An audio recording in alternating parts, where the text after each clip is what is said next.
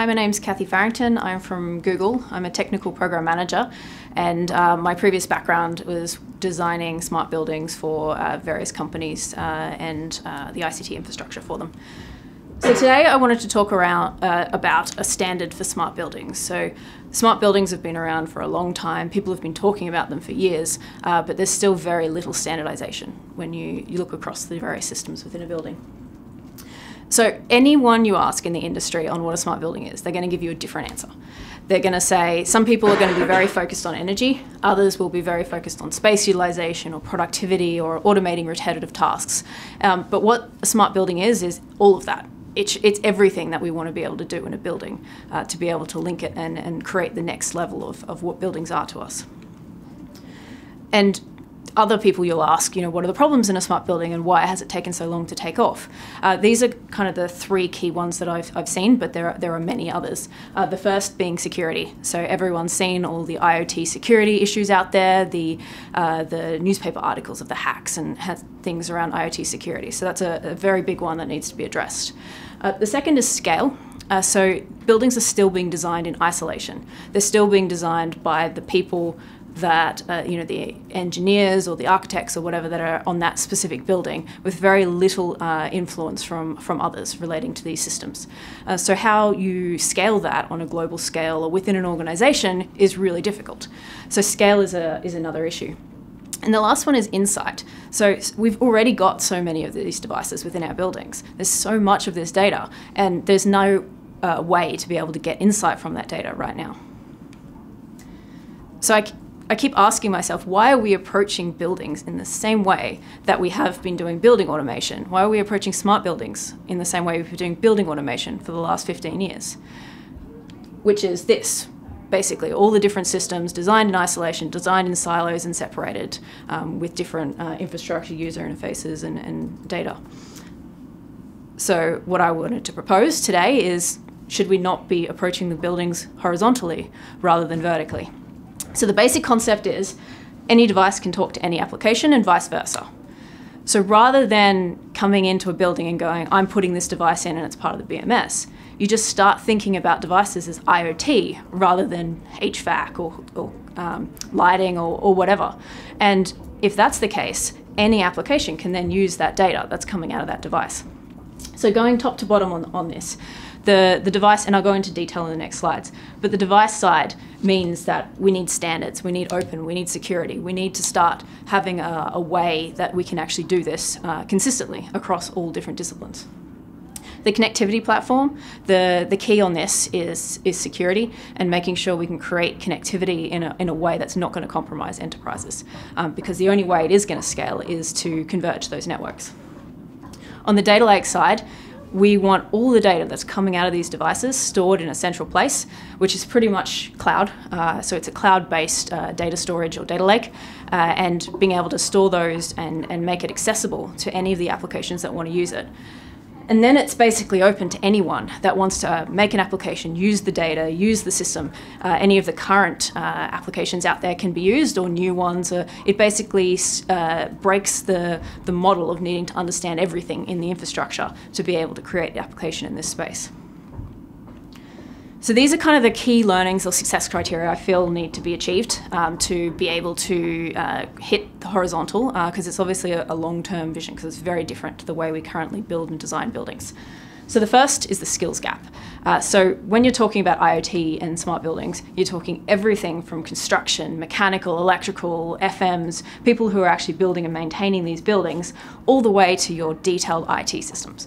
So people that are doing data scientists, uh, application developers, IT network people. And that's a huge range of skills that are required to, to build and maintain one of these buildings. And the second is the construction industry is built and designed on, on waterfall type method of program management. So you design something five years or whatever before you actually deploy it. And in that case, that means that a lot of your, your systems and your devices are locked in five years before. And if you go to any software developer and say, your software has to be exactly the same in five years, you're, you're going to get laughed at because that's just not how the industry works. So working out ways that construction and, and, moving the devices that are actually selected and going to be used for, for device, any sensing, um, monitoring, um, or control back into later in the construction program is kind of key to, to hitting this. The second one is security. So I mentioned that this is one of the, the big drivers, um, and I've been to a lot of conferences and, and a lot of uh, seen a lot of white papers, and everyone's trying to solve security right now. And for me, the best ones that I've seen uh, are device profiling. So if you're an enterprise, you want to know what that device's purpose is. You want to know what data traffic it's doing, what it's supposed to be doing, and how it's supposed to be operating. And you're not uh, as you know the IT team or whatever, you're not going to know or understand that device. So the only person who can do that is the manufacturer of the device. So if the manufacturer provides a device profile, you can then limit that device down to what it should actually be doing and the traffic traffic's actually doing. And when it's compromised, it can be isolated, restricted, you know, whatever you want to do within your, your security. I've put a URL in there uh, for a, a, a, draft IETF standard called MUD, and it's manufacturer usage description. And it's basically doing exactly what I'm saying, um, along with some other things, but it, it's basically putting the onerous on the manufacturer to create that device profile. I've also put a link into a, a, white paper that we've written at Google on application security requirements for IoT devices. And this is about taking the best practice IT practices and pushing it to devices.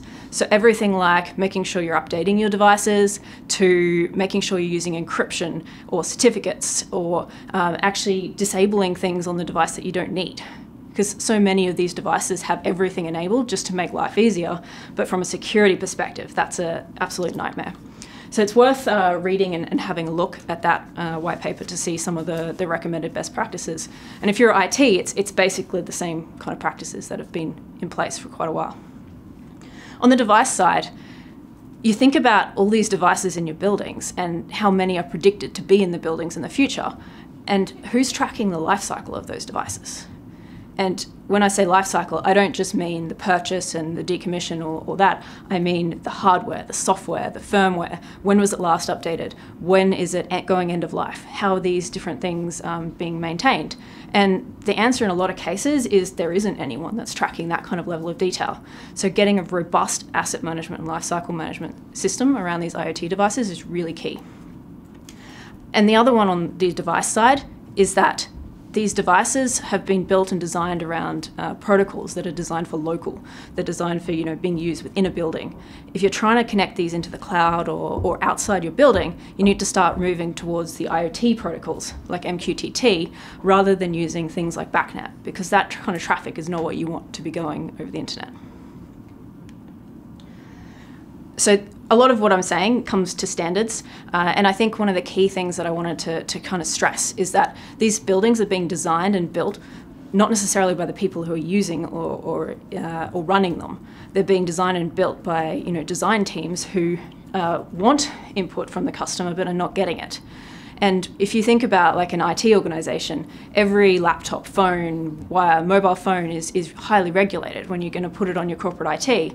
And then we have all these other devices that are not regulated and don't have company standards. And so it's really key to start saying, I want these to be open. I want these to be secure based on these requirements.